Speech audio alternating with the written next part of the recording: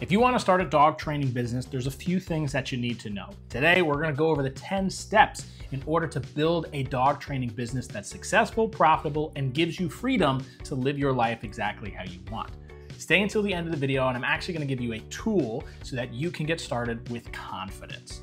Let's jump right into it. Step number one get some experience. You don't have to have a boatload of experience. You just need some. You need something to substantiate your claim that you are a professional dog trainer. Do you need certifications? No, not yet. We'll talk about that later.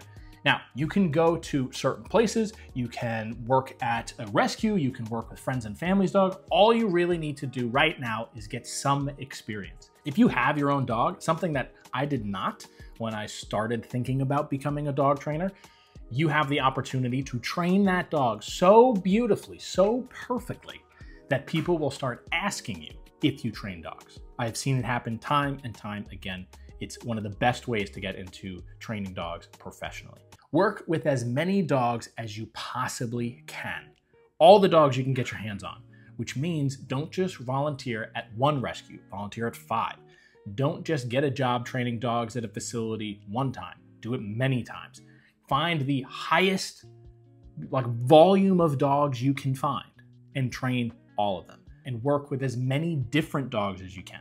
If you've already worked with 10 golden retrievers, unless you really want to work with more golden retrievers, find another breed. Get to the point where people don't believe how many dogs you've trained. I've trained over 12,000 different dogs. I've done a lot of work, like 16, 17, 18 hour days for weeks and months on end to train as many dogs as I have. Number three, start training family and friends' dogs in a structured way.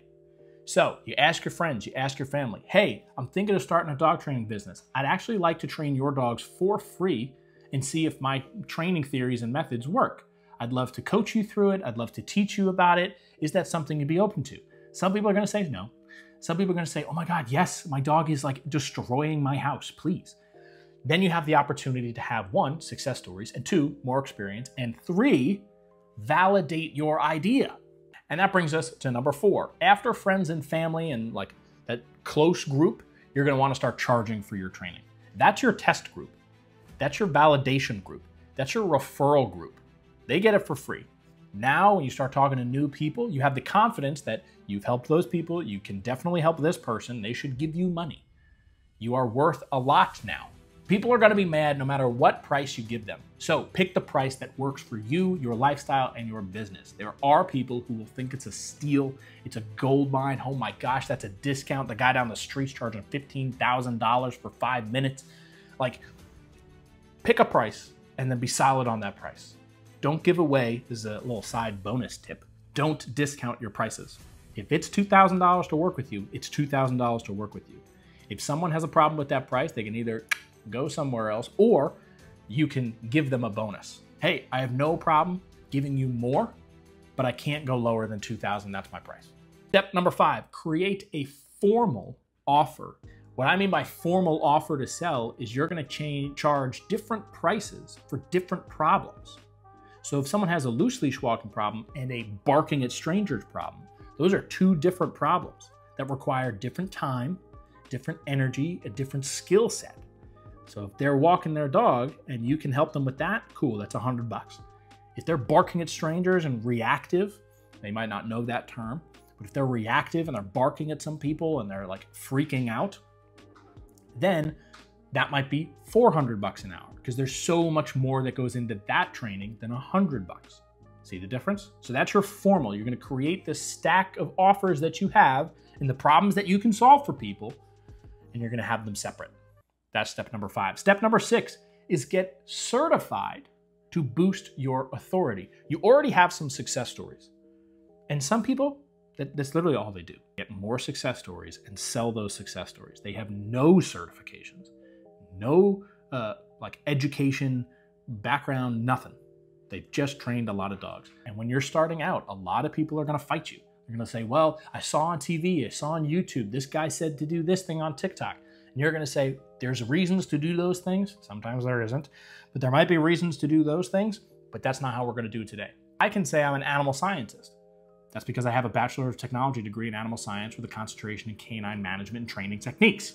Yes, it's a long title, but if someone says, What's your certification? I can tell them an animal scientist, I understand canines at a deeper level than your average dog trainer. If you don't have an accreditation, if you don't have anything, a certification whatsoever, then you don't have an authority to stand on when someone challenges you. Number seven, raise your prices. Why is it always about prices, Michael? I just got into an argument the other day with a trainer about this very particular topic. They think that they should be giving away their training for free, and that's totally fine. There's people out there that are doing that. But if you're trying to start a dog training business, you need money to operate the business. You cannot help more people if you do not have more money to help more people. And when you're getting started, your heart is in the right place. I feel you. I've had so many trainers who their heart is in the right place, but they can't make enough money to give away free stuff. They can't spend the time on free classes. They can't spend the time on free content creation like YouTube. They can't spend the time giving away free sessions because they are living paycheck to paycheck or below. If they had all the money in the world, they could give away free courses. They could give away free training. They could do a whole month free because they'd have so much money it wouldn't matter to them. Be the most expensive in the area. You're going to have better clients that are more serious and actually take the training well there are multiple facets into why you should have higher prices. So trust me when I say, because it's worked every time with every trainer I've ever worked with and myself in my own business. Raise your prices beyond what you think makes sense, and then make sense of it by providing more for your client, not less. Number eight, look for more clients now that you've exhausted your list of family, friends, and their extended families. Look for clients in these places. The dog park is great. That's where most people who've given up on their dog go. Why do I know this? Because I did it. I'd go to the dog park, I'd stand outside, and I'd say, hey, free dog training, trying to drum up some business. Or hey, discounted dog training, again, trying to drum up some business. What ends up happening is everybody who's in the dog park doesn't care because their dog's getting tired at the dog park. They go home, they don't have any problems because their dog is tired. Cool. Whoop for them. The other side of the fence is that you have puppies and people who are bringing their dog there for the first time and they don't know what to do with their out of control dog. And so you might be the perfect person for them if you're standing outside the dog park.